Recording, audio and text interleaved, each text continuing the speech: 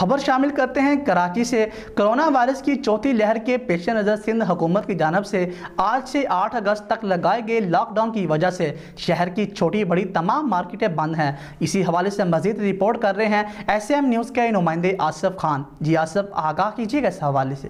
Sir, यकीन माने आप, घरों में हमारे पास खाने को नहीं है, क्या करें? इतनी परेशानी चल रही है। सिंध हुकूमत भी हमारा साथ नहीं दे रही है। हमारी सीएम साहब से यही दरख्वास्त है खुदारा लॉकडाउन ख़त्म किया जाए और ताजरों को कारोबार करना दिया जाए। लॉकडाउन लगाना चाह रही तो लगाए लेकिन ये शहरी जो दिहाड़ीदार मजदूर हैं ये कहाँ जाएँगे? इनका क्या होगा? जी बिल्कुल आज हम मौजूद हैं कराची के इलाके मेन कायदाबाद पे जहाँ पर सिंध हुकूमत की जानब से लगाए गए लॉकडाउन के पेश नज़र यहाँ की तमाम छोटी बड़ी मार्केटें बंद हैं और कुछ दुकानदार हमारे साथ मौजूद हैं आइए उनसे बातचीत करते कि उनको किन मुश्किल का सामना। जी आज से जो लेके आठ अगस्त तक जो लॉकडाउन लगाया आप उस हवाले से क्या कहना चाहते हैं? देखें ये शहर बंद करवा दिया पूरा और वफाकी गवर्नमेंट इस पर ये कह रही है कि जी लॉकडाउन इतना सख्त नहीं होना चाहिए क्योंकि यहाँ लोग रोज़ी के लिए मारे मारे फिर रहे हैं, मार्केटें बंद हैं, दुकानें बंद हैं, हर बंदा रोज़ी के लिए परेशान है। अगर सिंध हुकूमत उस पर लॉकडाउन लगाना चाह रही तो लगाए, लेकिन ये शहरी जो दिहाड़ीदार मजदूर हैं, ये कहाँ जाएँगे? इनका क्या होगा?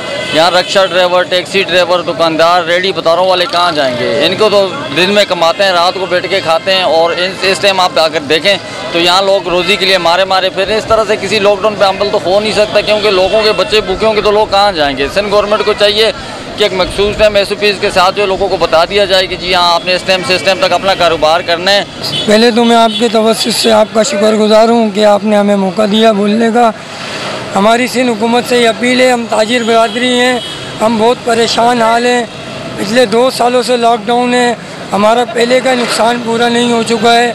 एक ये और लॉकडाउन लग गया, मज़ीद हम लॉकडाउन के मुतामिल नहीं हो सकते। हमारी सीएम साहब से यही दरख्वास्त है कि खुदारा लॉकडाउन ख़त्म किया जाए और ताजरों को कारोबार करना दिया जाए। सर, ये लॉकडाउन लगा है जो इसके लिए बड़े परेशान हैं हम।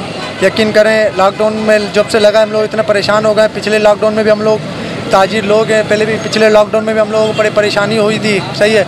अब बताएँ, आप लॉकडाउन लग जाए तो हम लोग कहाँ जाएँ? परेशान है, कारोबार नहीं है। पहले ही ऊपर से लॉकडाउन लगा हुआ है। उस पर इतनी परेशानी चल रही है। सर, यकीन माने आप घरों में हमारे पास खाने को नहीं है क्या करें? इतनी परेशानी चल रही है। सिंध हुकूमत भी हमारा साथ नहीं दे रही है। या हमारे को ताउन करे सिंध गवर्नमेंट तो हम लोग आप ताउन करेंगे। सर हम लोग भी इतने परेशान हैं मार्केटें बंद है कारोबार नहीं है पहले ही ऊपर से लॉकडाउन लग रहे हैं। बहुत परेशानी चल रही है हमारे साथ। साथी रिपोर्टर जुल्फ़िकार अली के साथ Asif Khan S M news Karachi. बहुत शुक्रिया सब तफसीलात से आगाह करने के लिए। अब तक के लिए इतना ही मजीद खबरों के लिए देखते रहिए एस एम न्यूज़